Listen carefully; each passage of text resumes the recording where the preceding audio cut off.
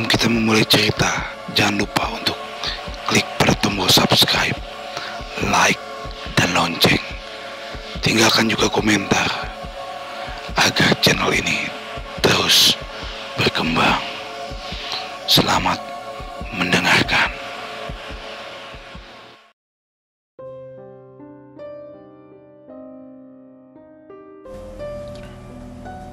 Cerita misteri hampir menjadi budak pesugihan di kerajaan Laut Kidul. Ini adalah sebuah kisah nyata yang dialami oleh kakek buyutku dengan salah seorang temannya yang kisahnya diceritakan oleh kakiku di saat aku sedang berlibur ke rumah kakek di Sukabumi tepatnya di daerah Pelabuhan Ratu. Sore itu, aku sedang berbincang-bincang ngalor ngidul sampai berbincang tentang dunia gaib.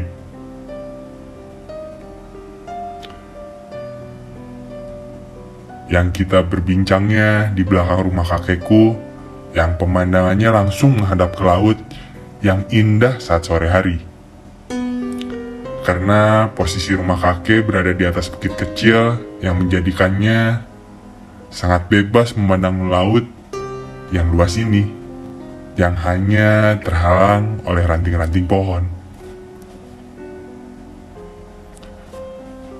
Kakekku lalu bercerita tentang kisah kelam kakek buyutku ini. Tepatnya pada zaman dahulu kala yang kakekku mendapatkan kisah ini langsung dari kakek buyutku sendiri. Sebulan sebelum ajal yang menjemputnya oleh Sang Maha Kuasa. Kakek buyutku bercerita tentang kisah ini dan menitip pesan yang begitu dalam karena ingin semua keturunan anak cucunya kelak suatu hari nanti tidak ikut atau terjerumus dengan mencari kekayaan dunia secara instan yaitu dengan cara pesugihan atau dengan menyekutukan Tuhan apa pun alasannya tanpa terkecuali dan itu tidak dibenarkan dari segi apa pun maupun agama.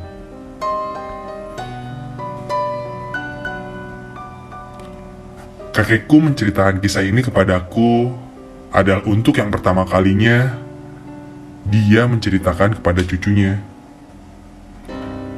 karena aku adalah cucu paling tua di antara cucu-cucu yang lainnya dari keluarga ayah. Karena menurut kakek umurku sudah dewasa dan berhak untuk tahu kisah ini sebagai bahan renungan untuk menjalani masa depanku yang masih jauh yang aku akan lalui. Cerita ini yang dari dulu disimpan dengan sangat rapat oleh kakekku karena kakekku tidak ingin menjadi sebuah bahan gunjingan dan dianggap sebagai penyembah setan.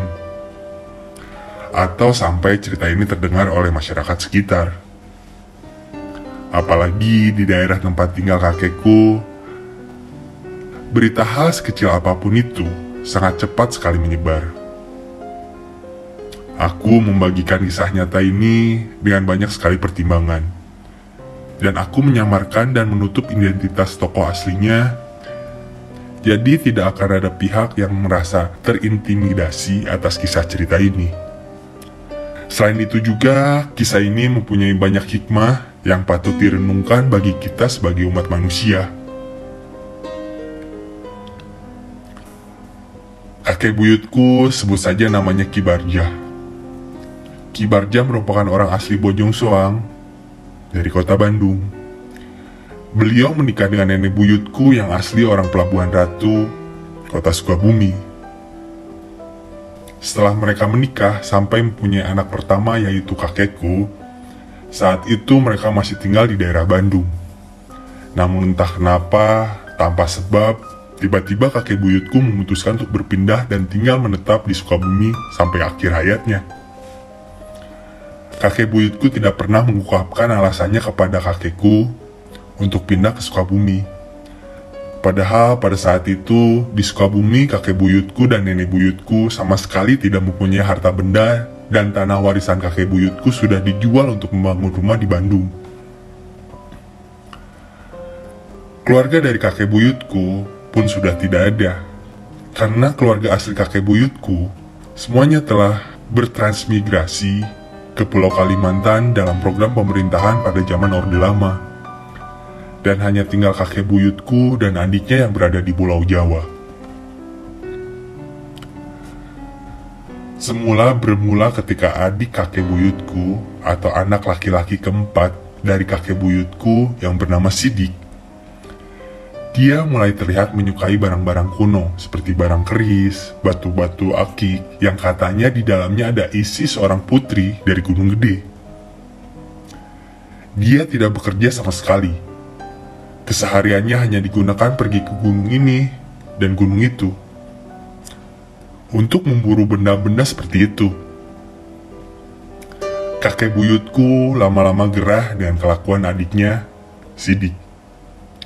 Akhirnya kakek buyutku mulai membuka suaranya bahwa dulu dia pernah hampir saja jatuh ke lingkaran setan karena hal-hal benda seperti itu.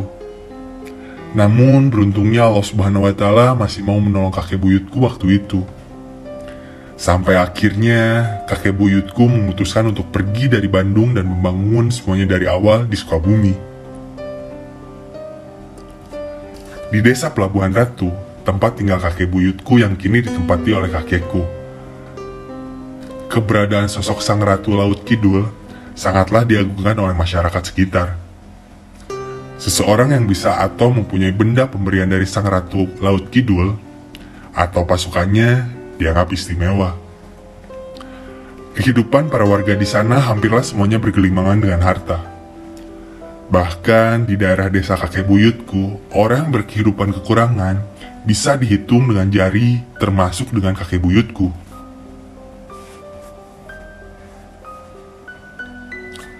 Pada malam pergantian tahun yang waktunya saya lupa lagi, kalau di Jawa Tengah seperti malam satu suro, sebuah perahu kecil yang dipenuhi dengan sesajen masih dilarungkan di pantai Karanghawu yang dipercaya sebagai gerbang atau pintu masuknya ke kerajaan Laut Kidul. Ritual ini dilakukan sebagai wujud rasa ucap syukur dan terima kasih kepada Ratu Laut Kidul karena telah memberikan hasil panen di ladang dan tangkapan ikan di laut yang melimpah. Awal mulanya, kakek buyutku hampir terseret ke dalam lingkaran setan ini.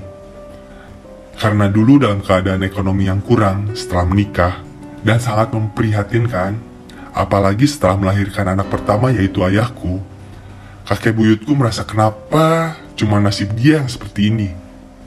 Berat sekali untuk mencari nafkah dan mencoba usaha ini itu, tetapi tidak ada yang berhasil. Sedangkan jika melihat orang lain seperti Pak Nandang dan Pak Tatang, dengan hidupnya yang terlihat mewah sekali. Padahal mereka dulu sama-sama petani seperti kakek buyutku. Tetapi hanya dalam jangka waktu setahun saja, mereka bisa lepas dari jeratan kemiskinan dan mereka sudah menjadi salah satu orang terkaya di daerahnya. Tetapi naasnya baik Pak Nandang dan Pak Tatang, keduanya tidak mempunyai umur yang panjang. Di usia mereka yang baru saja menginjak kepala tiga, mereka sudah dipanggil oleh Yang Maha Kuasa. Namun peninggalan hartanya mereka sangatlah banyak. Sepertinya tidak akan habis oleh tujuh turunan anak cucu mereka.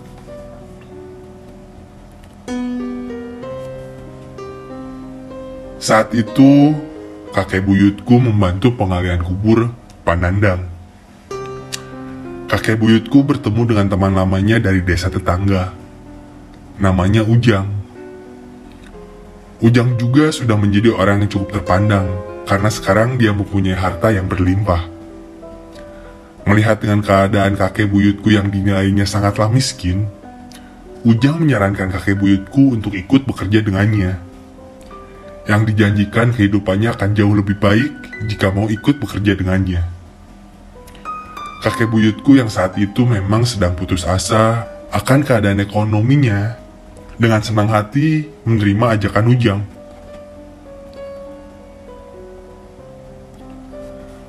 Kakek buyutku ingat sekali malam itu adalah malam Jumat Kliwon ketika Ujang mengajak kakek buyutku untuk bertemu dengan seseorang di pantai Karanghawu.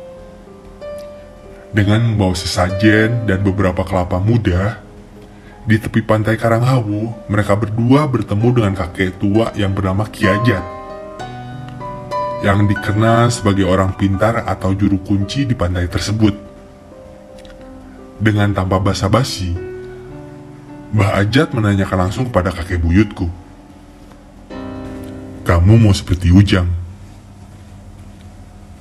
Iya Ki, mau kerja bareng bareng Ujang. Nanti saya akan bukakan jalannya. Kamu hanya jalan lurus saja ke depan gerbang kerajaan di sana. Setelah sampai dan masuk ke dalam kerajaan, utarakan maksud kepada sang pemilik kerajaan apa saja yang menjadi keinginanmu nanti. Mbak Ajat menyuruh kakek buyutku untuk berdiri ke depan dan menghadap ke pantai dengan memejamkan matanya. Kakek buyutku sebenarnya tidak mengerti dengan maksud apa yang diucapkan oleh Ki Ajat. Tetapi beliau tetap menuruti instruksinya dengan menutup matanya. Terdengar sayup-sayup suara riuh yang berisik sekali.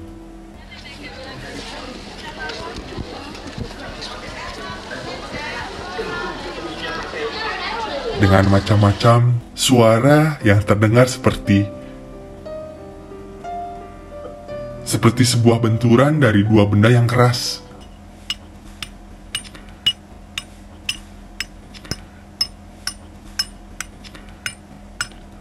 Lalu ada suara orang yang meronta meminta tolong.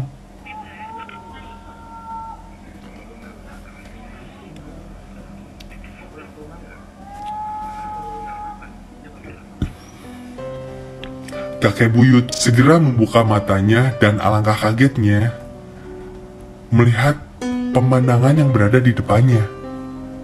Ada sebuah jalan raya yang besar terbuat dari aspal yang mulus, tetapi di sisi kanan dan kirinya terdapat banyak sekali pekerja jalan dari wanita maupun pria dengan memakai baju yang compang-camping yang sedang bekerja memecahkan batu dan ada juga yang sedang menggendong pecahan-pecahan batu, tetapi mereka bekerja sambil menangis.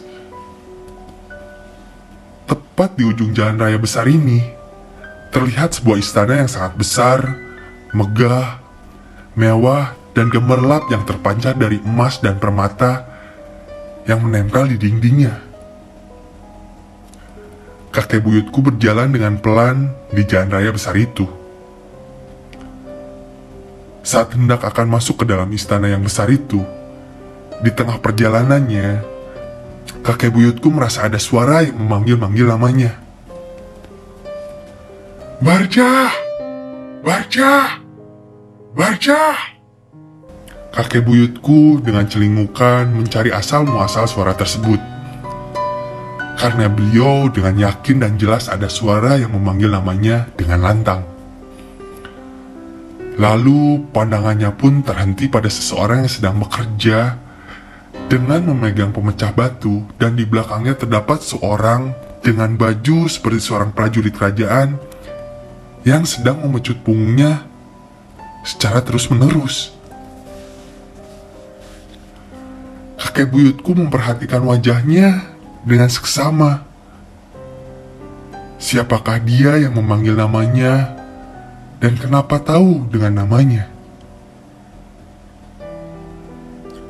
Barja, cepatlah pulang kembali. Jangan ke sini. Cepatlah lari, Barja.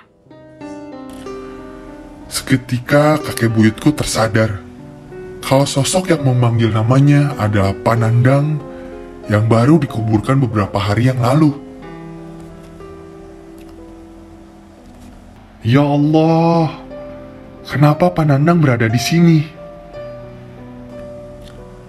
Dengan tubuh yang merinding dan ketakutan, kakek buyutku membalikkan badan dan, mencoba berlari sekuat tenaga. Tetapi rasanya seperti berlari di tempat.